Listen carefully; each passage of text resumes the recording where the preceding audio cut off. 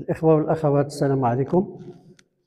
اليوم غادي نشوفوا الكاتا جي تي غادي نشوفوها في واحد بسرعة بعجلة في واحد النقاط. آه، أولا المعنى والأصل. ثم غنشوفوا اشتغال الوركين. ثم التصديات ل blocage. ثم إيقاع الكاتا. المعنى والأصل. هذه معلومات يعني كتكون مفيدة باش الإنسان ملي يبغي يدير الكاتا كيكون عنده عليها آه، بعض المعلومات اللي هي كتساعدو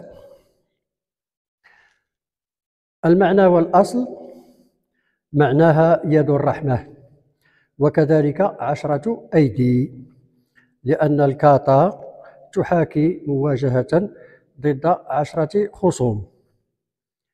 الاسم الأصلي هو جيتي نسبة إلى سلاح اسمه جيتي لكن عند وصولها إلى اليابان من أوكيناوا أصبحت تسمى جوتي جو تي جو هي عشرة وتي هي اليد جوتي أي عشرة أيدي. هذه الكاتا متواجدة بين امتحانات بين كاطات امتحان الدرجة الثالثة من الحزام الأسود. وهي من بين الكاطات العليا. جيتي تحتوي على 24 حركة وهي من ابتكار الأستاذ أنكو إيتوزو اللي كان هو الأستاذ ديال فوناكوشي.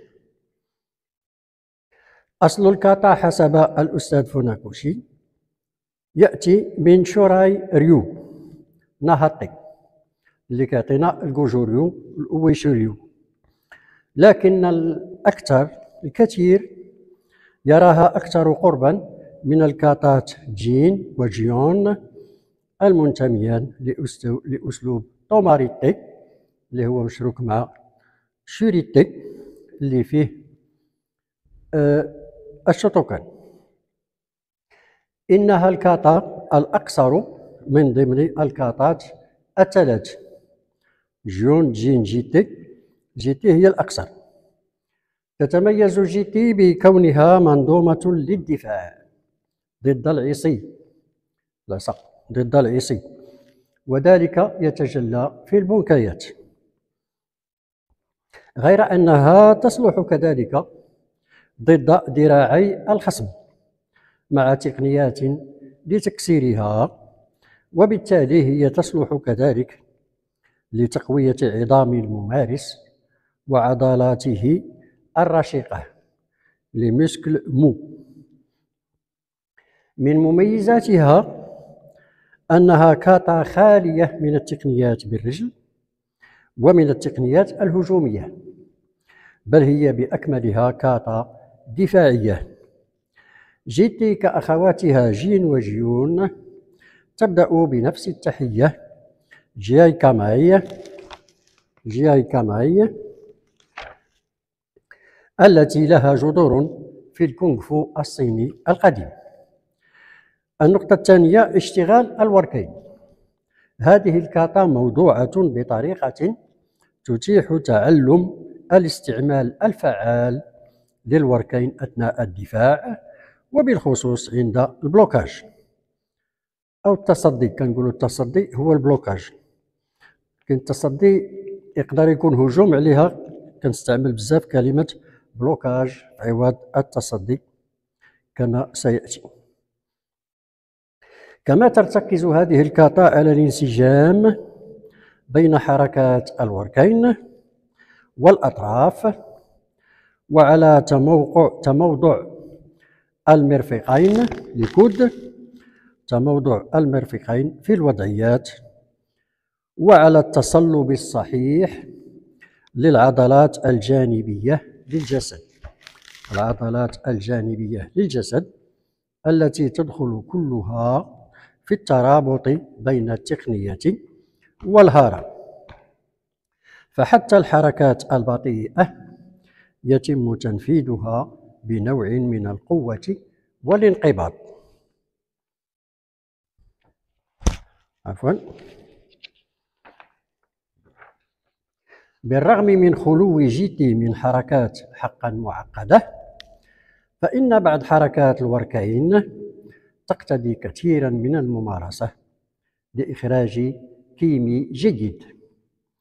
إنه من الأساس أن يظهر الكاراتيكا فكرا حربيا حقيقيا في كل حركة وأن ينفذها بثقة كاملة وبقوة تدميرية. النقطة ما بعد الأخيرة التصديات ال blocage الكاتا جي تي ضرورية للممارسين الذين لا يحبذون الاشتغال على ال blocage لأن هذه الكاتا سترغمهم على تعلم ال blocage بشتى أنواعه. في الماضي كان التصدي لل blocage هو التدريب الوحيد المسموح به للمبتدئ. بحيث يتدرب عليه مدة طويلة قبل أن يتعلم التسديد باليدين والرجلين. لقد كان الكيهون هو دراسة التصديات لبلوكاج واخا التصديات تقدر تكون هجومات. نقولوا هو كان الكيهون بكري هو دراسة لبلوكاج واستعمالها كأنها هجومات. وذلك من أجل تقوية دهن تقوية تقوية قوة ذهنية كبيرة للصمود أمام الخصم. ومن ثم يصبح الصمود بالبلوكاج هجوما مدمرا لأنه فيه قوة ذهنية وبدنية كبيرتين. في الوقت الراهن لا يحبذ الناس التدريب كثيرا على ال blocage. ولكن ال blocage هو اختصاص الكاراتيه. في جي تي يمكننا التدريب على تقريبا كل بلوكاجات وإيجاد جميع العناصر الأساسية لتنفيذها بفعالية وواقعية. جي تي هي ال blocage بامتياز.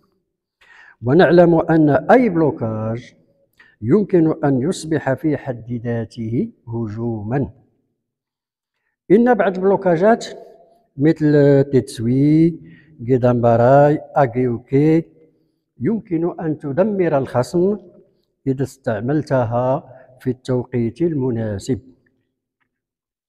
لو فهمنا جيدا البلوكاجات وقمنا بتنفيذ جي تي بكيفية جيدة.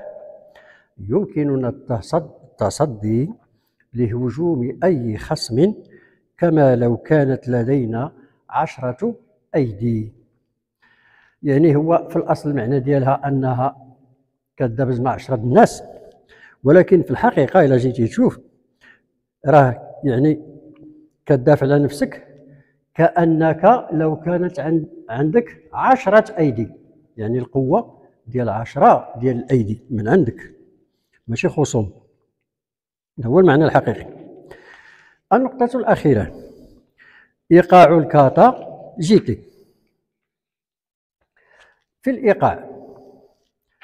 في الإيقاع الريتم هناك السرعة الذهنية. كاين السرعة ديال الجسم وكاين السرعة السرعة ديال الذهن السرعة الذهنية أو الإيقاع الذهني ومعرفة إيقاع الكاتا هو اللي الذي يحدد فهمنا للكاتا إذا فهمنا مزيان الإيقاع ديالها غادي نفهموها مزيان. عندما نكون شبابا فإننا ننجذب إلى كل ما هو سريع. لكن السرعة ليست هي الهدف. السرعة شيء نسبي. السرعة هي العلاقة بينك وبين الخصم. ينبغي جر خصمك إلى إيقاعك الشخصي. لكن ما هي الوسيلة؟ باش تجر عند الإيقاع ديالك الشخصي. الوسيلة هي قوتك الذهنية مستواك الذهني لو مونطال الانتصار يقوده الذهن القوي. وليست القوة المجردة أو السرعة المجردة. يعني لا فيتاس بيور التمرين الأساسي في تمرين الذهن على الانتصار هو الكاتا. فعندما نتدرب عليها فعندما تتدرب عليها ضع نفسك أمام نفسك. وحاول البحث على أفضل إيقاعك. قلب على الريتم ديالك وأفضل سرعتك ينبغي عندما ينبغي التأني قم بالتأني. وعندما ينبغي السرعة قم بالسرعة. إن بعض الشباب يرغبون في تنفيذ كل الحركات بسرعة والكاتا كلها بسرعة وبالتالي يخطئون في التنفيذ. أثناء التنفيذ تنفيذ الكاتا. السرعة أثناء تنفيذ الكاتا معناها التعرض للوفاة أمام الخصم. يعني السرعة أثناء تنفيذ الكاتا معناها التعرض للوفاة أمام الخصم. وكذلك تسريع ارتكاب الخطأ المميت. لأن ما كيخدمش مع التايمين. مزروب. ملي مزروب كيتلقى شي ضربة قاتلة. الكاتا جيتي ليست كاتا اعتباطية بل هي كاتا أساسية. تدربك كيف تقوم بال blocage بقوة ذهنك اللاشعوري. لم تحس وليس, وليس بالقوة الواعية. إنه ليس من السهل أن تجعل البلوكاج على أنه هجوم. فعندما تصل إلى مرحلة القضاء على الخصم بالدفاع فقط دفاع هو في جوهره هجوم بالقوة غير واعية بقوة الذهن فعند ذلك تكون قد فهمت مضمون الكاتا جي تي وقيمتها التعليمية. غادي نحبس هنا. ومن بعد الفيديو الثاني غادي يكون حول نصائح في التنفيذ. إلى الملتقى. أوس.